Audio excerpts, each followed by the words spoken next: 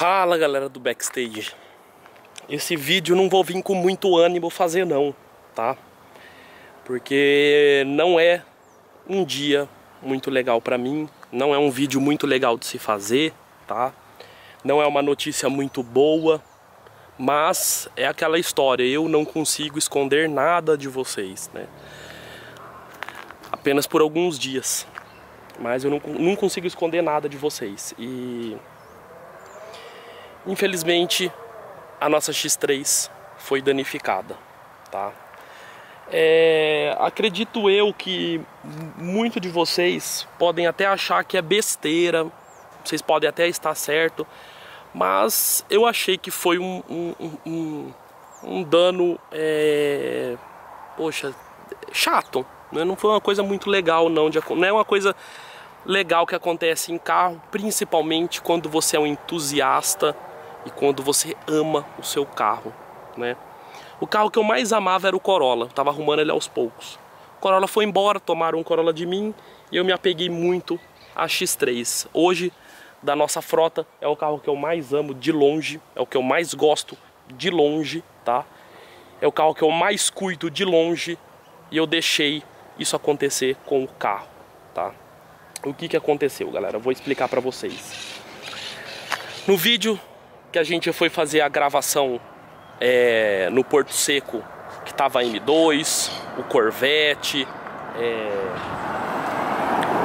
a M2, o Corvette e, e, e outros carros lá, a gente foi vítima de jogação de pedra, né? O que que acontece? Quando você canta pneu com carro, quando você faz zerinho, corre, etc e tal, o pneu joga pedra, joga muita pedra. E a X3 estava lá e ela foi metralhada de pedras. Foi metralhada de pedras mesmo, galera. Eu nunca vi uma coisa dessa na minha vida, tá? Eu vou chegar perto, vou mostrar para vocês em detalhes. Aí vocês vão me dizer, ah, Dudu, mas ela não, não, não tem película, tem o PPF? Graças a Deus o PPF deu uma salvada, mas teve coisas que foram danificadas demais. Vou mostrar para vocês e se for até o caso, a gente até, eu até já arranquei um pedacinho do PPF e ficou uma marca ali, mas se for o caso, até arranco mais para vocês verem. Galera, foi triste, tá? É, vamos lá ver o que aconteceu. Primeira coisa, tá?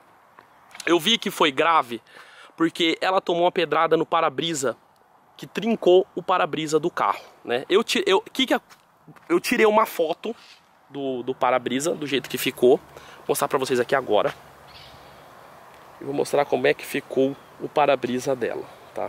Na hora que ela tomou a pedrada. Aqui. Ficou desse jeito o para-brisa dela. Tá vendo? É isso aqui, ó. Eu fiquei, na hora, né, bem chateado e falei, cara, e agora, né? O que, que nós vamos fazer? Peguei e vi. Quando eu vi que o para-brisa tinha trincado, falei, cara, certeza que ela tomou uma metralhação de pedra né? E deve ter até estragado aí o carro em algumas partes, mesmo com o PPF, né? Bom, é, trincou o para-brisa, é, recebeu várias pedradas na frente, em vários lugares, né? Vou mostrar pra vocês aqui de perto. Vamos ver se a câmera consegue pegar, tá? Ela tá com PPF, mas você pode ver que tem uma pedrada aqui no farol, uma aqui também, aqui, aqui, tudo essas pedrinhas aqui também. Essa aqui chegou a rasgar o PPF, essa outra aqui rasgou o PPF também. É, aqui na frente, aqui pedrado, ó, tudo, tá tudo pedrada, pedrada, pedrada, pedrada, pedrada. É, algumas são sujeiras, tá? Mas tem na grade também. Aqui foi pedrada também, tá? É aqui, ó, pedrada aqui na grade também. Essa aqui, por exemplo, não tem PPF nas, nas aletinhas, então, ó, pedrada, pedrada, pedrada, tá? É, enfim, recebeu uma pedrada no retrovisor. Aqui eu tirei o PPF. Eu tirei porque tinha rasgado o PPF. Falei, vamos ver como é que ela tá debaixo do PPF. E deu apenas uma marcadinha. Vamos ver se vocês conseguem ver. Vou tentar focar aqui, pera aí. Essa marcadinha que tá bem aqui. Cara, fica até uma, uma um, um, um negócio, cara. O PPF salvou bastante, tá? O PPF salvou bastante. Infelizmente trincou o para-brisa, tá? Aí eu peguei e fui na concessionária. Fui na concessionária E fui ver a possibilidade do para-brisa. Eu tava meio contente, que eu falei, poxa, apesar dessa X3 ser importada, tem outra que é fabricada no Brasil, deve ter essa peça pronta entrega, não tem, galera. O para-brisa dela é diferente, o para-brisa dela não tem no Brasil, vai demorar 90 dias para chegar, pensa no rolo e na confusão para conseguir o para-brisa.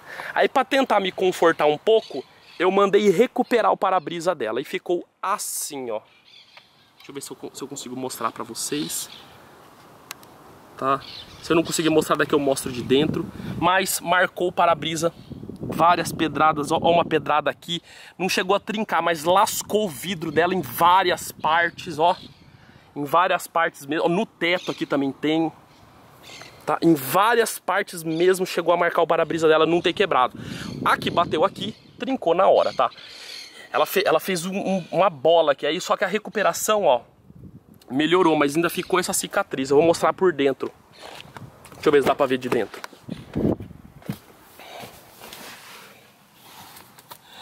Vou tentar mostrar, galera. Não sei se a câmera, a câmera pega, vamos ver.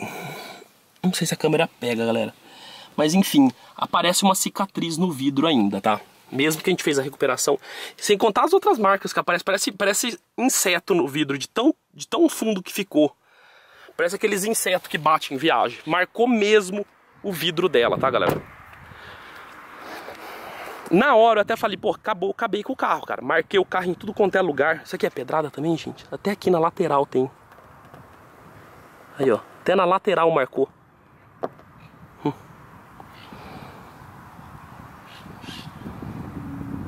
Marcou em tudo quanto é lugar, mas enfim. É... A pedrada mais feia tava aqui nessa região né? Eu peguei ranquei a película aqui, ó, vocês podem ver que ela tá com a película recortada aqui, ó. Aqui, ó, película recortada. E ela, a pedra foi bem aqui, ó. Pode ver que tem um ovinho aqui, ó, né? Então pra você ver, só amassou, mas não riscou, mas não, não riscou, tá? Mas deu, amassou. Essas aqui também deu uma amassada. Aqui, ó. Cara, o PPF protegeu bem, cara. O PPF protegeu pra caramba. É... Aqui no para-choque, ó. Essa aqui, caralho, afundou o para-choque. Vai ter que fazer funilaria esse carro, eu acho. Teve muitas que afundou o para-choque, ó. Chegou a não rasgar, mas, tipo assim, mordeu o para-choque, cara. Muitas delas mordeu o para-choque, muitas mesmo. Olha essas aqui, cara.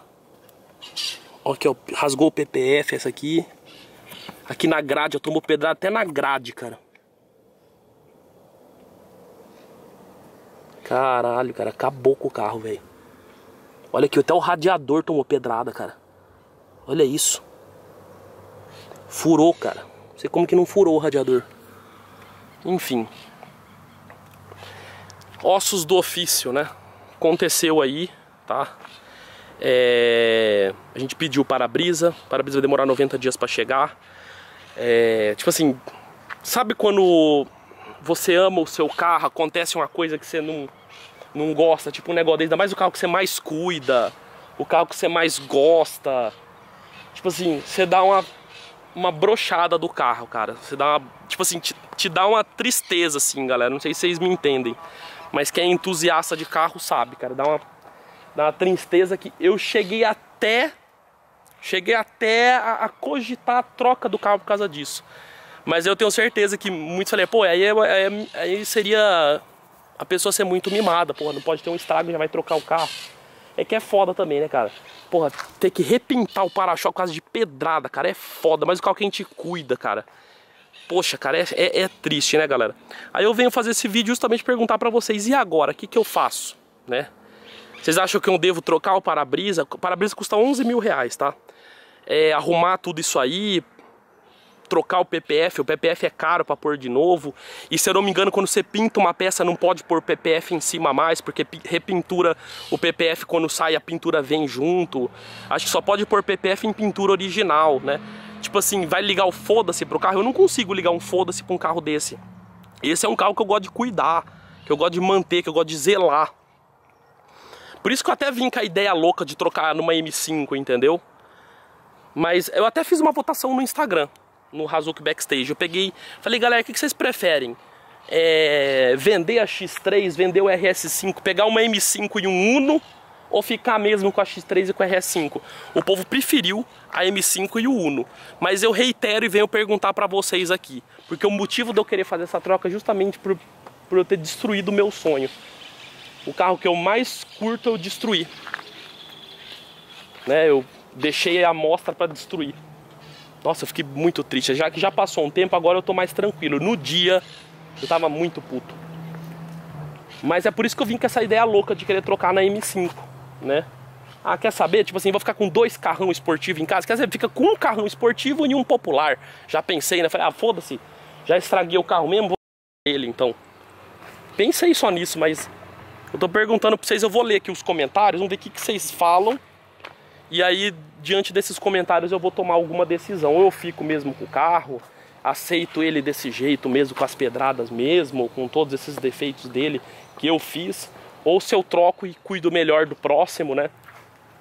E, e aproveito e trago um popular pro canal. Mas uma coisa é fato, galera, eu amei esse carro, cara. Eu amei ele mesmo. Mas acho que a IB5 é mais legal, né, galera? Mas é isso aí, eu vou ler os comentários e vou... Como sempre, eu vou... Apesar de eu não ter pedido opinião de vocês para comprar a X3, porque realmente eu amo esse carro, e eu amo a M5 também. Eu não comprei uma M5 antes porque eu fiquei com medo, era um carro muito caro. Eu tenho medo de comprar carro caro, apesar de eu ter comprado dois carros caros. Vocês vão falar, ah, tudo que você fala não faz sentido, mas é que a gente tem medo, mas a gente acaba comprando. Tá. É, mas eu queria uma M5 sim, cara. É meu sonho também uma M5. É o carro mais top da BMW. Por que não uma, né? E a M5 existe projeto para fazer com ela. Eu posso comprar uma M5 e fazer ela virar uma competition. Olha só que top, né? Se você for parar para pensar no lado de projeto do canal, ela é até mais interessante do que a X3, né? Porque a X3, galera, eu comprei ela com o intuito não de fazer projeto. Lembra que eu falei isso pra vocês. A X3 eu comprei pro meu prazer. Sempre falei isso pra vocês, não falei? Mas que tal pegar a M5 e fazer ela virar uma competition, né? Mas é isso aí, eu vou, vou ler os comentários, vou, não vou tomar nenhuma atitude precipitada. Vamos ler aí, ver o que que fala. Eu só sei que eu tô muito triste com tudo isso que aconteceu com a nossa X3, tá, galera?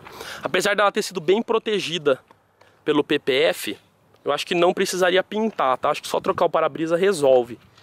Mas eu fiquei muito magoado. Fiquei mesmo. É isso aí, galera. Bom, espero que tenham gostado do vídeo. Quer dizer, espero que vocês não tenham gostado do vídeo, porque eu não gostei de ter que fazer esse vídeo. Não gostei disso que aconteceu, não. Espero que vocês não tenham gostado do vídeo, então. Beleza, galera? Aguardo vocês para o próximo vídeo do canal. Falou, galera.